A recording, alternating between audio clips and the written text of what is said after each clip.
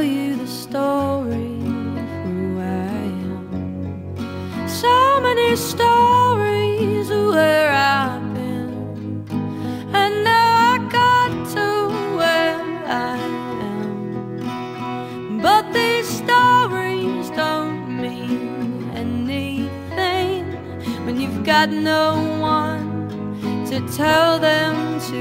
It's true. I